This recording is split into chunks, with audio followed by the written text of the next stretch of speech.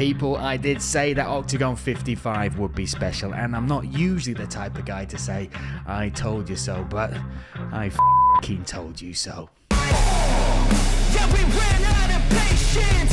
Up with cold hard hatred.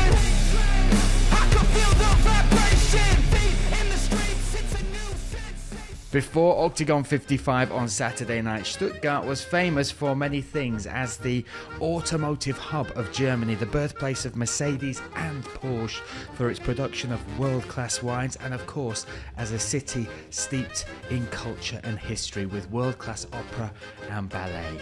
But after Saturday night, you can screw that all up, chuck it in the bin because now Stuttgart will be known for holding one of the most spectacular Oktagon events in the promotion's history.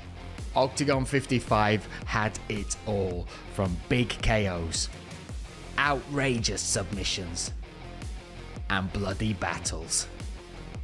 Plus a spectacular crowd in the sold out Hans Martin Haller, who delivered an electric atmosphere for our gladiators and for our debut in Stuttgart.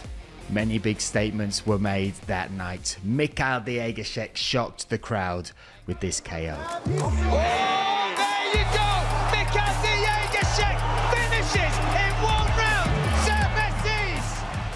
Mate Kertész was outstanding as he claimed the finish over German Nicholas Stolzer. Rear naked choke here. Mate Kertész from the side. Looking for the finish. He's got it! He's done it! Alexander Poppeck looked reborn as he took out the American Grizzly Jeremy Kimball in one round. Baby Mama, aka the silent killer Lucia Svabova, dominated the very game Dr. Rosa Gumina and showed us that her finishing instinct was still there as she claimed the submission finish in the dying seconds of round number three. That makes her 7 and 0 in MMA with 6 wins by finish, 4 of those coming by way of armbar. But maybe the most impressive of all was the Albanian eagle Orion Topalaya. He faced his toughest test, the most experienced and the most decorated fighter to stand in front of him inside the cage, plus a man who was out to avenge the loss from his teammate to the same man, Carol Bombay Rishave. And Topalaya did this.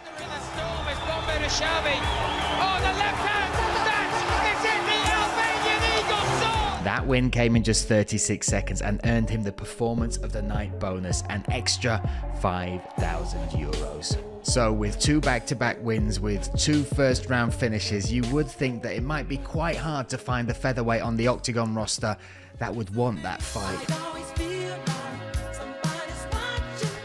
Well, you didn't have to look too far from the cage to see one who seemed to quite fancy it. Shem Rock, of course, has serious business ahead of him that will see him step into the cage to face Stefano Catacoli in Birmingham on April 20th. But should he pass that test, I think we've pretty much got the promo for the next scrap. Feel like somebody.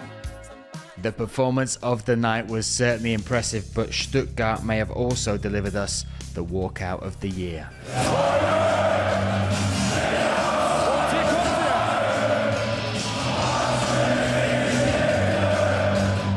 12,500 people were on their feet in great voice to welcome their hero, a man from their city and a man of the people, Christian Jungwirth. In one word, incredible. The main event lived up to the atmosphere as both Jungwirth and Pukac treated us to a five round war.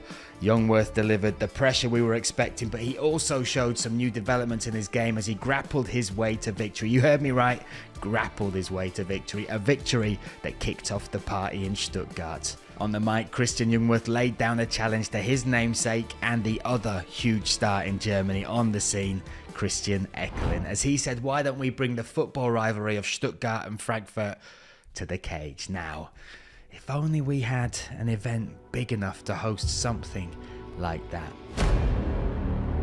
Well, in Stuttgart, we quite literally made a huge announcement as we dropped the news that Oktagon won't just be doing one football stadium this year. We will become the first European promotion ever to host two football stadium events in one calendar year. The first of those two football stadiums will be on June the 8th in Eden in the Czech Republic in what is already building to be an awesome card, topped by the rematch of the century, Vémola versus V2, plus our welterweight eliminator bouts and two bouts from the million euro Tipsport Gamechanger tournament. That will see 27,000 fans come together, which is already pretty big, but the next stadium event will be bigger than ever.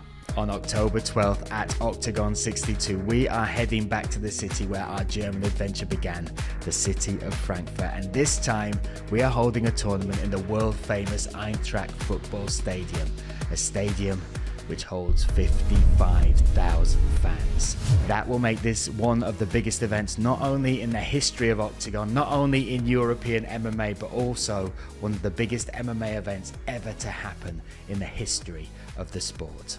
I'll say it again 55 thousand fans. Now, if you're into maths, that is six times bigger than the Festhalle, and um, four times bigger than what you've just tuned into in Stuttgart, and over two times bigger than our record-breaking event in Cologne, which sold over 20,000 seats. Now, if you're not into maths, then that is just bloody insane. For your chance to be there and to be part of history, you can sign up to pre register for tickets at OktagonMMA.com. We have gone from 9,000 fans in the Festhalle to 55,000 fans in the Eintracht Stadium in less than three years.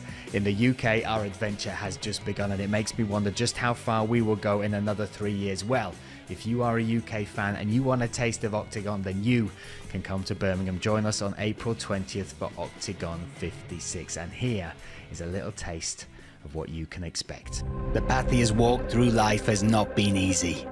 From living with cystic fibrosis to overcoming cancer. His return and rise in MMA has already made him a champion of the people.